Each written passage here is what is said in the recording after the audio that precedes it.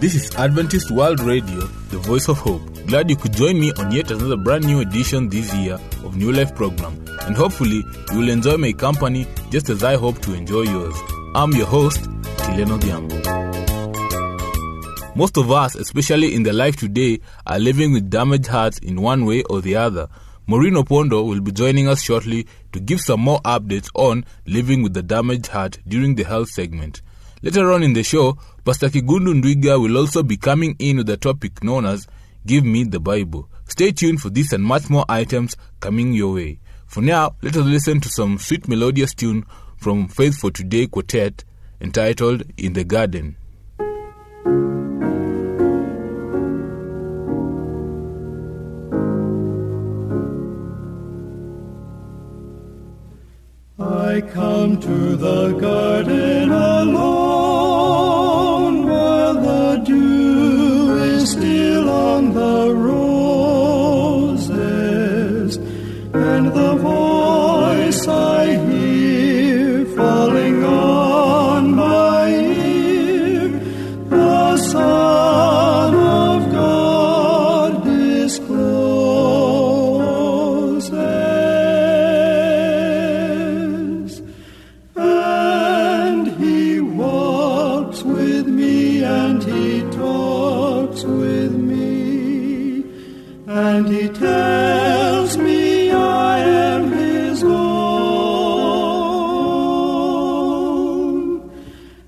And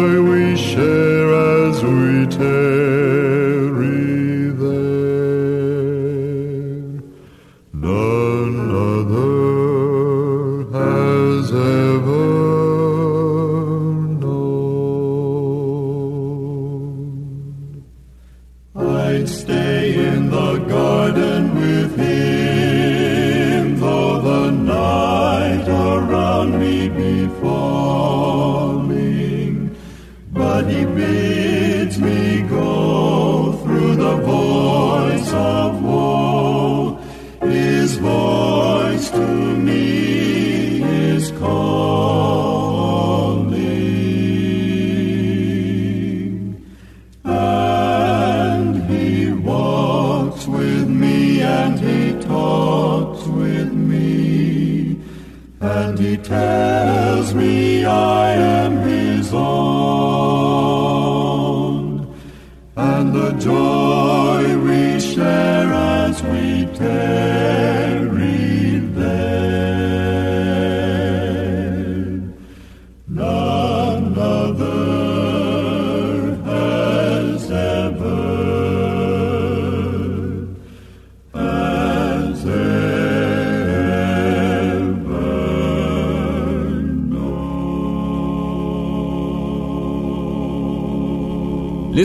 hope that you're still enjoying the show. Let us now invite Maureen Opondo to shed some more light on living with a damaged heart. Keep it the voice of hope.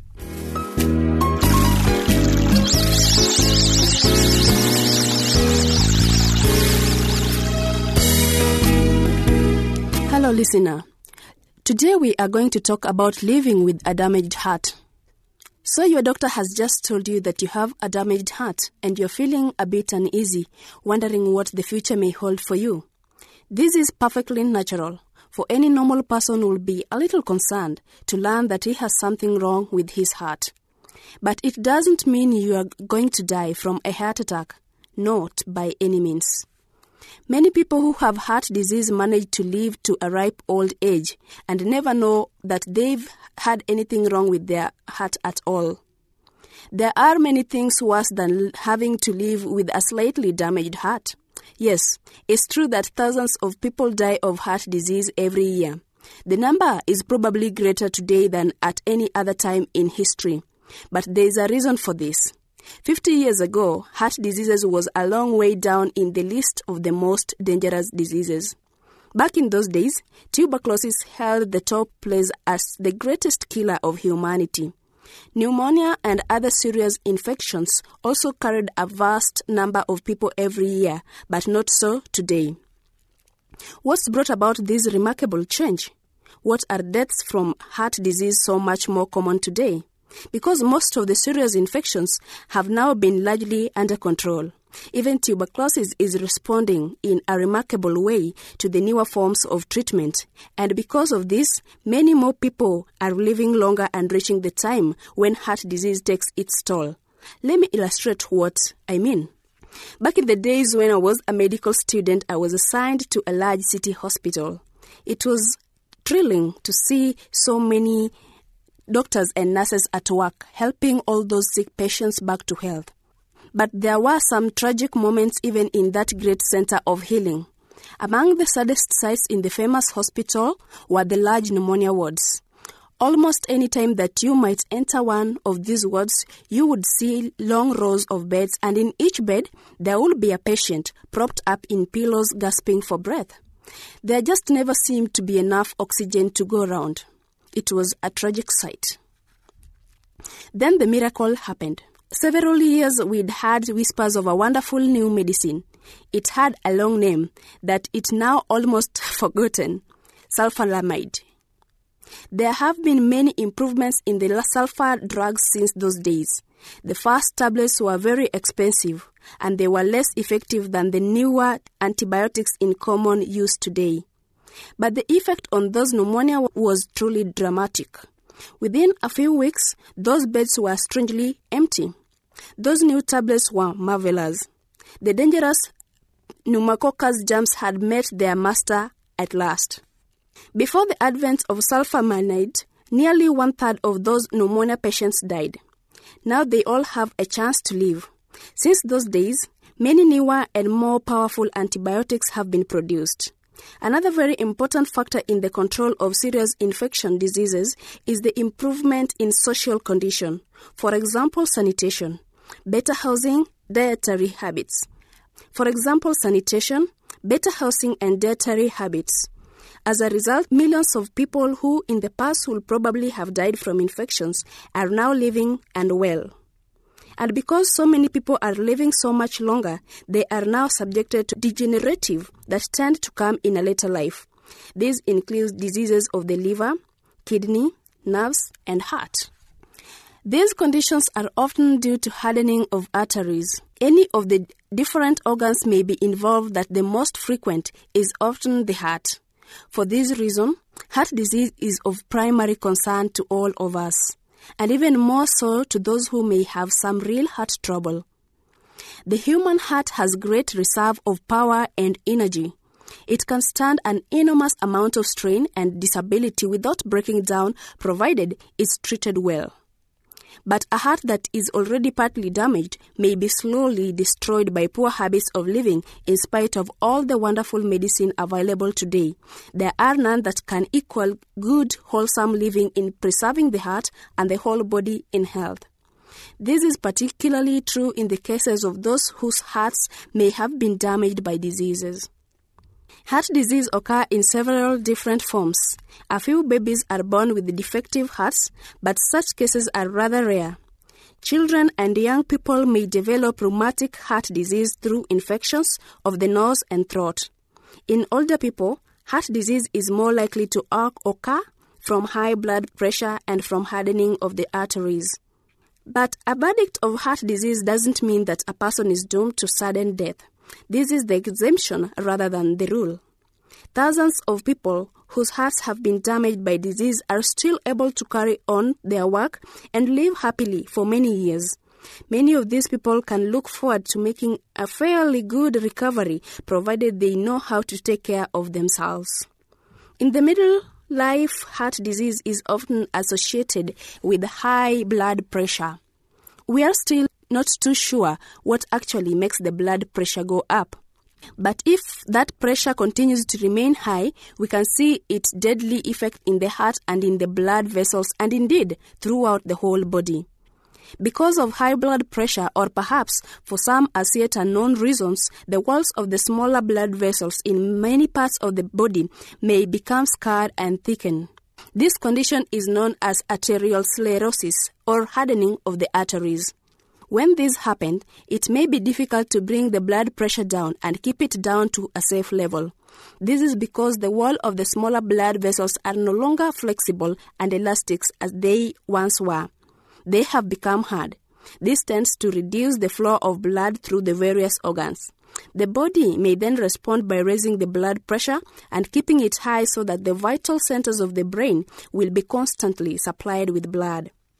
This extra blood pressure then causes more wear and tear on the blood vessels. Their walls become thickened and irregular, and they're no longer able to carry their normal amount of blood.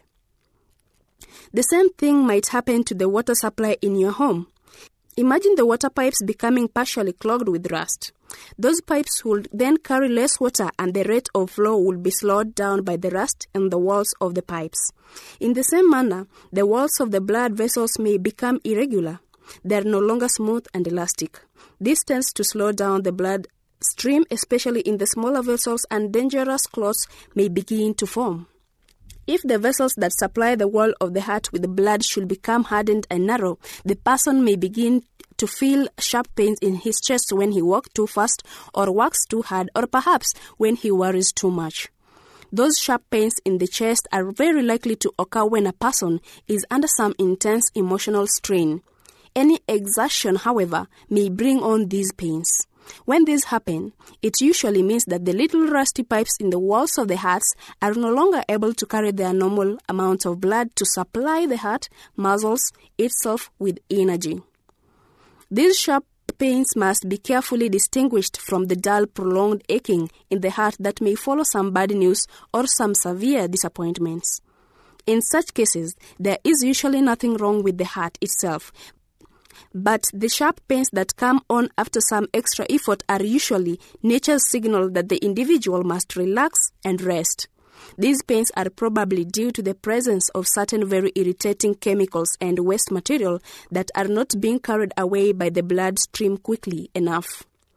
You can produce the same effect by merely twisting a tight rubber band around the base of your finger.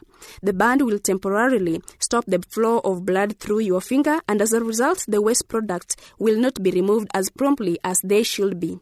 After time, your finger will become blue and painful, and you will be forced to release that rubber band. In the same way, a person who suffers from heart pains will be forced to rest and wait until the bloodstream can remove these irritating substances. It may take a few seconds or perhaps several minutes before such a person can go on his way again. This is nature's warning signal that that person must not take too many liberties. He must take the pressure of his heart by resting for a short time. If he'll do this, he usually has little to fear. It simply means that the blood vessels are no longer carrying their normal load. They may have been damaged from infection or from a poor diet or perhaps from bad habits of living. But whatever the cause of the effect is usually the same. Sir William Osler described this very well when he remarked that a man is as old as his arteries. A pain in the heart is often nature's way of letting us know that there is a time to slow down and take things a bit easier. Perhaps you're worrying too much or not getting enough sleep, but this doesn't mean that you should become over anxious or discouraged. You can get along fairly well when you know how to live within the limits of your strength. For instance, it may be very unwise for you to run for a train or a bus. Your doctor will advise you as to whether you should climb stairs and also how many hours a day you should work. He'll probably tell you that you must not hurry or allow yourself to be angry. These always put an extra burden on the heart. You may not be able to play 18 holes of golf anymore, and a hard game of tennis may be entirely out of the question for you in future. Maybe you'll have to move into a one story building and avoid climbing hills and stairs, but in any case, the less you worry about yourself and your future, the better you'll be. Your diet is very important. If you have high blood pressure, you may need to cut down on the amount of salt you are using. It's well for you to plan your meals so that you will not have too many mixtures in your food. You should avoid all those things that cause gas in your stomach. It's very wise for you to eat regularly and never too much at any one meal. If you are overweight, ask your doctor for a sensible reducing diet which you can follow until you get down to your ideal weight. It's certainly wise for you to give up smoking for tobacco in any form is bad for people with heart disease. By all means, place yourself under the care of a well trained physician. It's well for you to avoid all bustle and hurry, especially when these are brought on by overwork. Watch carefully against colds and influenza, for the slightest fever will always put on extra burden upon the heart. Remember that most people with heart disease manage to live fairly normal lives, but they must live at a slower pace. Then keep your courage high. Don't let your faith fall. Keep yourself cheerful and always look on the brighter side. In spite of your disability, commit yourself to God every day and determine to live within your heart's limitation. If you'll do this, your chances of a happy and comfortable life are very good indeed.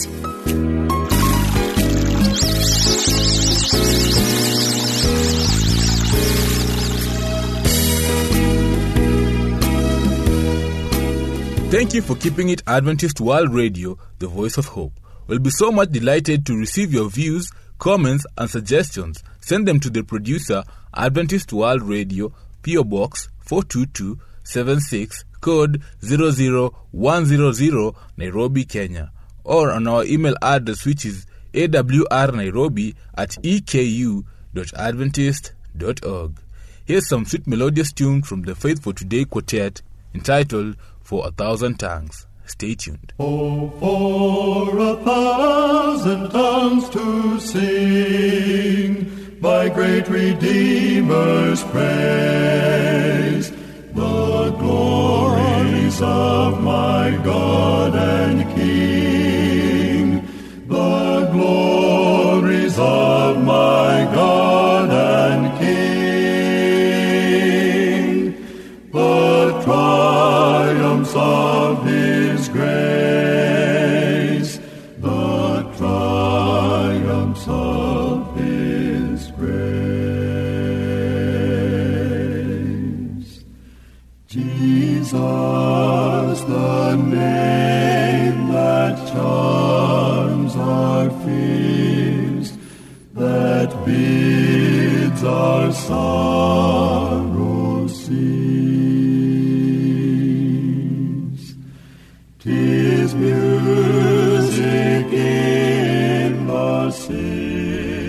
tuned to Adventist World Radio, the voice of hope, and I'm your presenter, Tireno Diambo. Pastor Kigundu always has some interesting topics to share with us. Let us now give him all the attention as he ministers unto us on the message, Give Me the Bible. Keep it the voice of hope.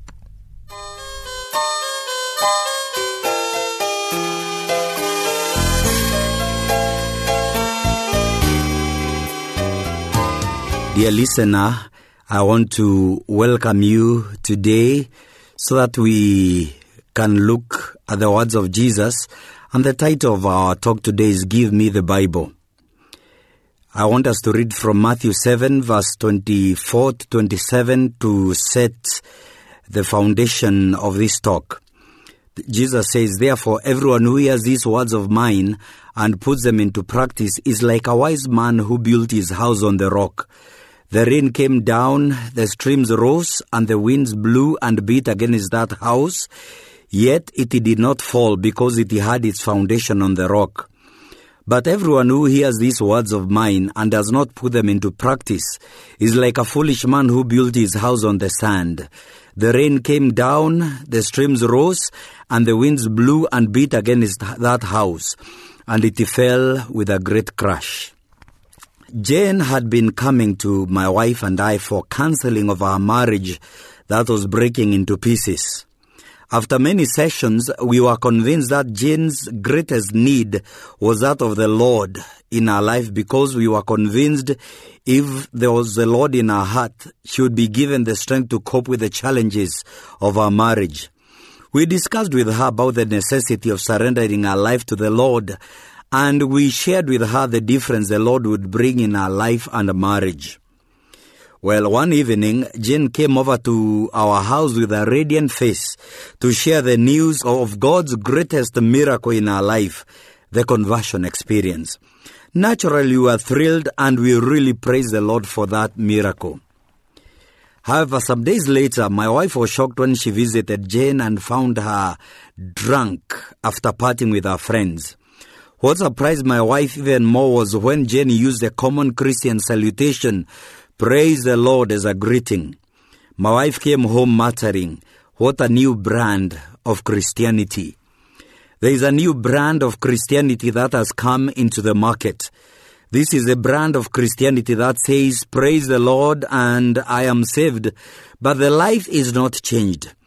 This is a brand of Christianity that says, Jesus paid it all and therefore I am free to do anything I want. In other words, it is a lip service kind of Christianity. In this new brand of Christianity, we have what we call a one day Christian and not a seven day Christians. This brand of Christianity demands its adherents to look pious on the worship day only and then do as one likes during the other days of the week. Indeed, how many of us claim to be Christians, we say praise the Lord, and are still involved in shady, underhand, and unethical business deals and practices? How many of us declare that we love Jesus wholeheartedly and still continue harassing our families like the devil would in our homes? How many of us come to church and look like angels from the throne of God, but on going home behave like those possessed with a spirit from the bottomless pit? Yes, how many of us are active in church, singing, preaching, teaching, going for outreach, and are actively involved in other activities of the church, and yet are involved in sexual immoralities? Dear listener, how many of us claim to love the brethren, yet we are tribalists, nationalists, racists, and other isms of the highest order? Somehow the love of God has not really gripped our hearts.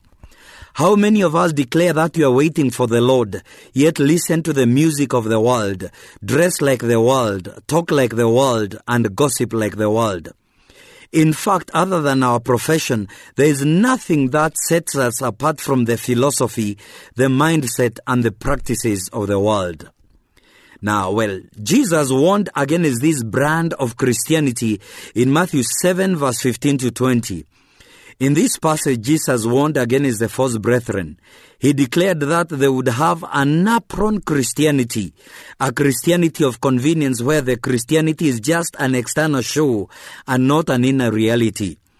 Jesus warned that we must not be impressed too much by what one possesses, but look at the fruits in the life of such a person because we can only know a person by the fruits he bears. Jesus concluded that warning in verse 19 by showing the fate of all who follow this brand of Christianity. He said, Every tree that does not bear good fruit is cut down and thrown into the fire. There is nothing as fatal as giving lip service to the Lord, but not allowing His word to rule and transform the life. Dear listener, I want to ask you, what kind of fruit do you bear? Remember, there is an invisible axe waiting to cut down every tree that does not bear fruit. That tree will then be cast into the hellfire. What a dreadful end. In Matthew 7, verse 21 to 23, Jesus wants to forcefully drive his point home, and so he uses another approach. He declares that not everyone who calls him Lord, Lord will enter the kingdom of heaven. Now, this is getting serious. We better listen to what Jesus is saying because our eternal destiny hinges on what he's saying. Jesus is saying there are many who profess to believe in him, but they will miss heaven. He is not saying that everybody who declares he or she is a Christian and that the Lord is very dear to them will inherit the kingdom of God. According to Jesus, there is only one condition obedience to the whole will of our Father who is in heaven. Therefore, dear listener, we may theologize and philosophize, but the bottom line crucial question is this Are we doing the will of our Father who is in heaven? Obedience is the key factor here. Beloved, have we obeyed all that the Lord has revealed to us? It is important to note at this point that those who will inherit the kingdom of God do not obey in order to be saved, but they obey because they have been saved. In other words, we can judge the reality of a person's salvation by the way that person relates to the issues of obedience. Jesus then rubs it in. In verse 22 and 23 declares, Many will say to me on that day, Lord, Lord, did we not prophesy in your name? And in your name drive out demons and perform many miracles? Then I will tell them plainly, I never knew you. Away from me, you evildoers. The thing that really scares me is to imagine that I can be lost after all I have been doing for the Lord and my deep involvement in the activities of the church. It seems to me that Jesus is saying that being members of the church, serving as officers in the church, singing in the choir, teaching the lesson, conducting Bible studies, preaching with dynamism and eloquence, being involved in evangelism, being zealous for the advancement of the church, performing miracles which are meant to prove that we possess some power, and other rounds of Christian activities we get involved in will not guarantee us a place in the kingdom. What a rude shock it will be for most of us on that day if we miss the kingdom of God despite of all we have done for God. It is incomprehensible to imagine that Jesus will bar some of us from entering his kingdom, referring to us, imagine as evildoers, while in our honest opinion, we have spent our entire lives working for him. What a tragedy. According to Jesus, there is only one way to enter the kingdom and to inherit life. It is to be guided by only one agenda in life, doing the will of our Father who is in heaven. It is not the nobility of the things that we get involved in that matters, but what we do with the simple words of God. Do we obey them or are we disobedient? On this simple question, dear listener, lies our destiny. Jesus showed the importance of obedience when he shared the parable of the wise and foolish builders and how destiny hinges on the type of foundation laid for the Christian life. The quality of the house depends on the foundation. Consequently, the very fabric of the Christian life is determined on one's willingness to obey. What we do with the revealed Word of God will determine our destiny. So, the question I want to ask you what kind of foundation are you building, dear listener? Dear listener, I ask you as we conclude the presentation for today, what materials have you used to build the foundation of your life?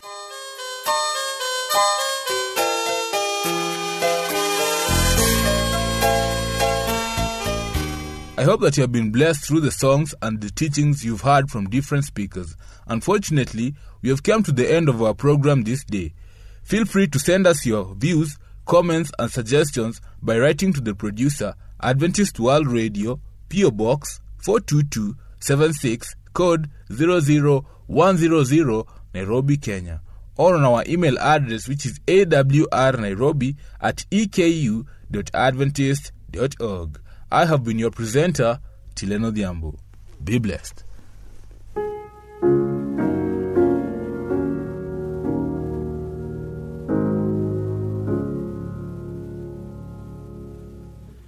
I come to the garden alone, where the dew is still.